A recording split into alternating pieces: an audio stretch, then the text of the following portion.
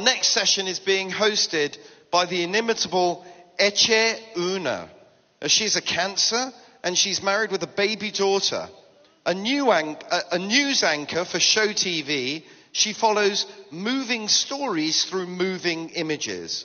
Always on the move herself, her passion is writing, expressing moods and emotion, justice, and the things that drive us. Fundamentally, what she expresses is love. She studies the conflicting passions and emotions of Turkish people and society, our common ground and unifying experience. I give you Eche. Please join us on the stage.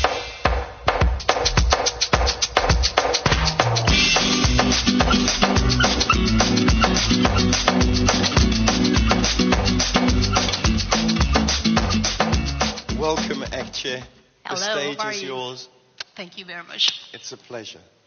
Merhaba. Başımızın üzerinde bir çatı, ayağımızın altında bir çukur. İçinde ailemiz varsa bize bu dünyada ölüm yok demektir. Dövmeci sorar. Peki nerede abi bu çukur? Yamaç cevap verir. Çukur, çukur her yerde. Çukur şimdi sahnede. Çukur'un İdris babası, yazar yönetmen Sayın Ercan Kesal ve Çukur'un senaristi Gökhan Horzum geliyor.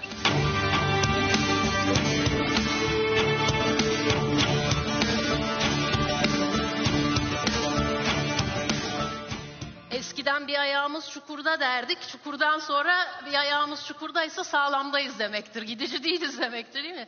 Ee, marka konferansındayız. Marka olmanın en önemli şartlarından bir tanesi. Hikayeyi anlatmak yetmez, yaşatmak lazım. Siz İdris Baba'yı oynamıyorsunuz. İdris Baba oluyorsunuz ve hatta şu anda İdris Baba olarak karşımızdasınız. Bu gerçekçilik nasıl mümkün oldu? Efendim ben bir tıp doktoruyum. Ee, uzun yıllar Anadolu'da hekimlik yaptım. Daha sonra İstanbul'da. Yani ben oyuncu değilim. Hiçbir aktörlük eğitimi almadım. Hiçbir e, müfredatını okumadım. 47 yaşında kamerayı gördüm ben. Ee, Üç Maymun filmiyle ilk profesyonel oyunculuğumu yapmaya başladığımda ilk sahnenin çekiminde şunu söyledim kendime. Rol yapmaya kalkma. Rezil olursun. Oyunculuğun temel meselesinin rol yapmamak olduğunu. Aslında benim için dezavantaj gibi gözüken bu e, rol yapmayı bilmemenin kamera önünde benim için bir avantaja dönüştüğünü fark ettim ve sürekli oradan gittim. Bu yüzden oyunculukla ilgili söyleyebileceğim bir tek şey var.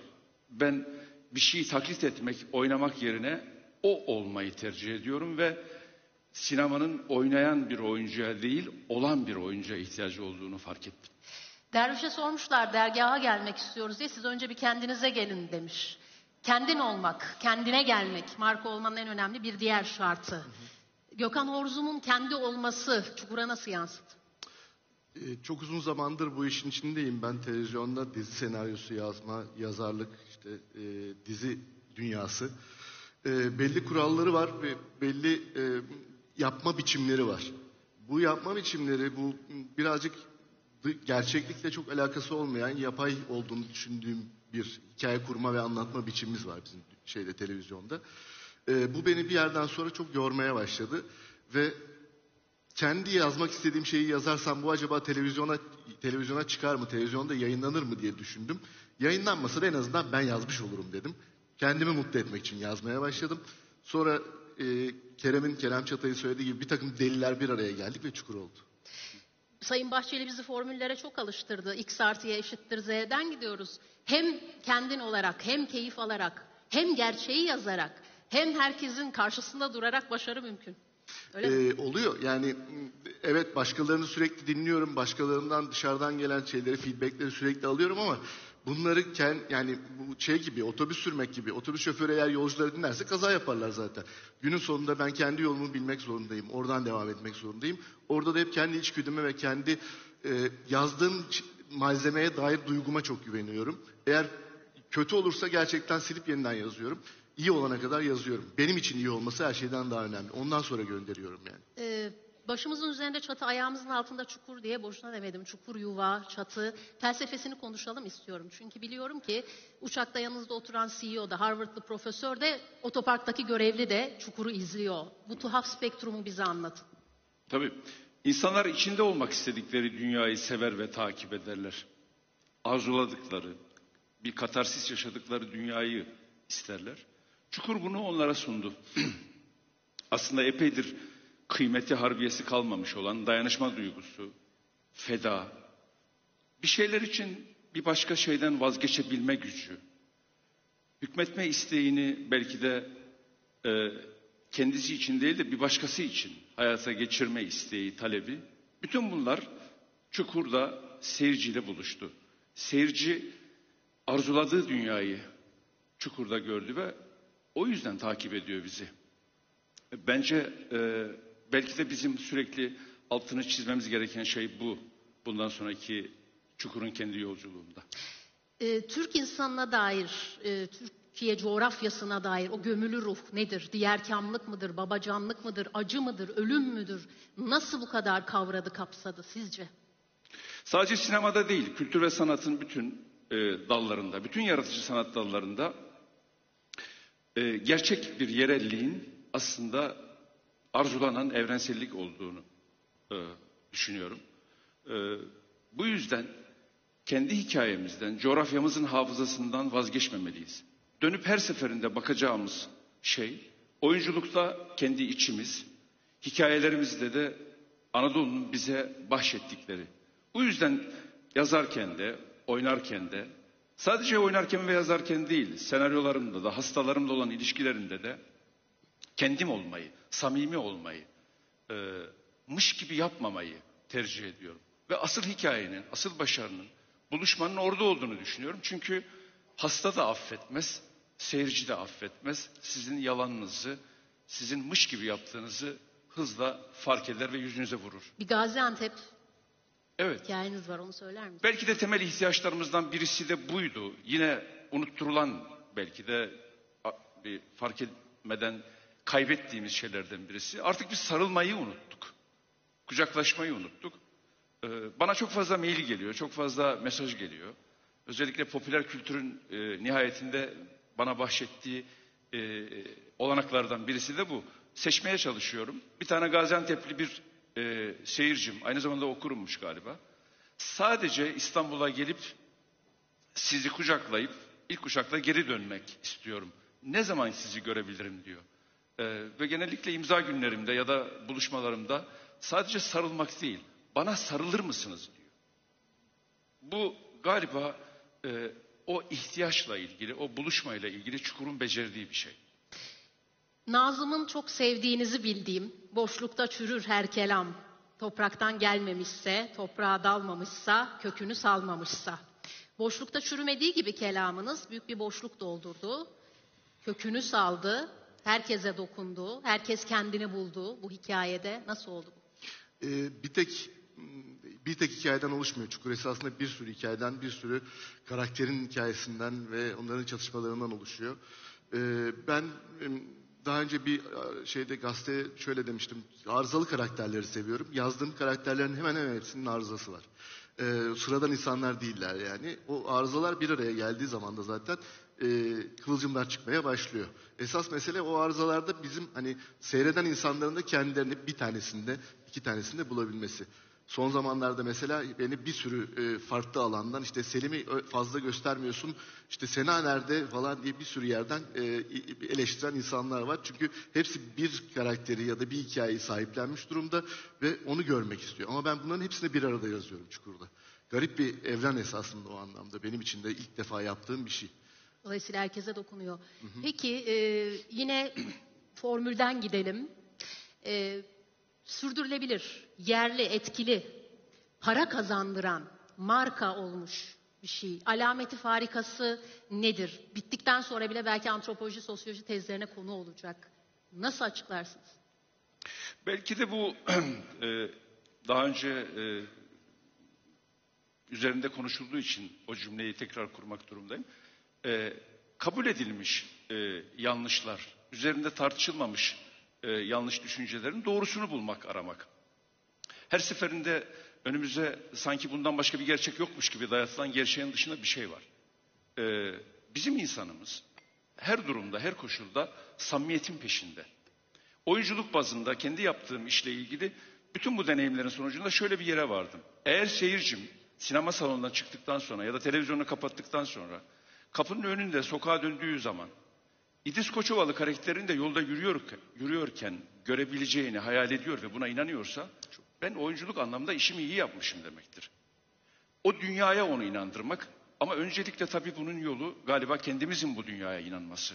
Kendimizin samimiyetle, dürüstlükle onun içinde yer almayı kabullenmemiz ve razı olmamız.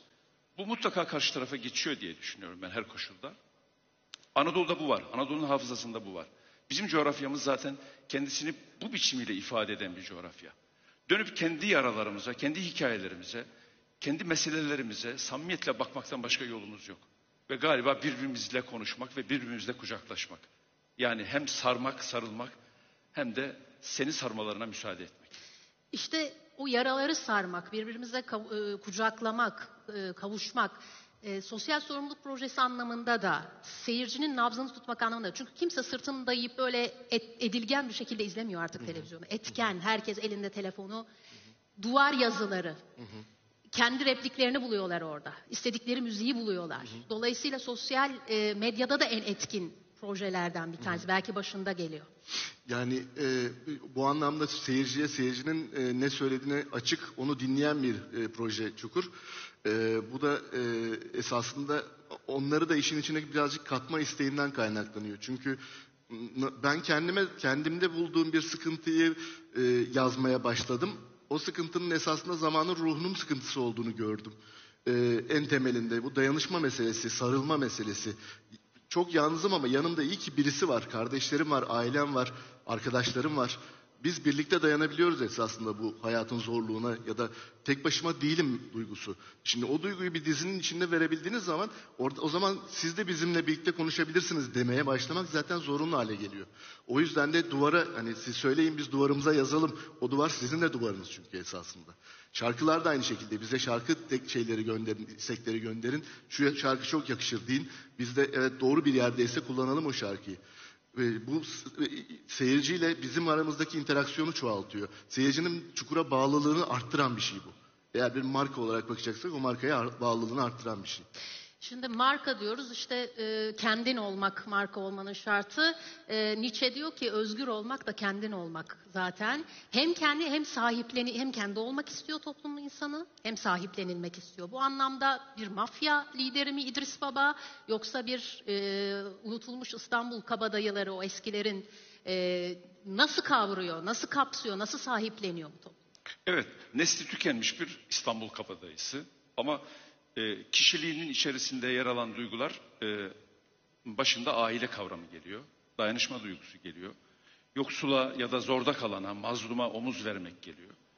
E, bir parça kendi adalet anlayışına dair de iddialı bir duruşu da var. E, ama bir yandan bu dünyayı, yaşadığı besiyerini, e, en azından İstanbul'u e, çok iyi bilen, bu ilişkilerin içinde pişmiş de bir insan. Bu yüzden ona e, hakikaten bir suç insanı gibi bakmak haksızlık. E, İdris Koçovalı karakteri bütün bu e, duyguları kendi bünyesinde bir araya getirmeyi becerebilmiş birisi. E, ben bu karakter bana teklif edildiğinde kuşkusuz e, bir miktar içinde yerli bir Godfather hikayesinin yattığını fark ettim. E, Marlon Brando'nun e, Corleone rolü bir parça İdris Koçovalı'da e, kendini gösterecekti. Bu yüzden hevesle okudum senaryoyu ve çok güçlü bir senaryosun olduğunu fark edince de orada olmaktan imtina etmedim. Bu anlamda e, bazen soruyorlar bana İdris Koçovalı karakteri ne size ne kattı E, ya da siz artık o rolden sonra başka bir şey. Hayır ben bende zaten bir İdris Koçovalı varmış ki ben onu ortaya çıkartmışım. Aslında oyunculuk bir parça bu yüzden insanın evrensel değerlerini sürekli olarak kendi hayatına ortak eden, kendi kişiliğine ortak eden de birisi. Ee, bu yüzden e, sadece oyunculuk bazında değil, ilişkiler anlamında da senaristimizle, yapımcımızla ve sektörün diğer e, aktörleriyle de e, gerçekten pozitif bir ilişkiyi sürdürdüğümüz bir dizi oldu.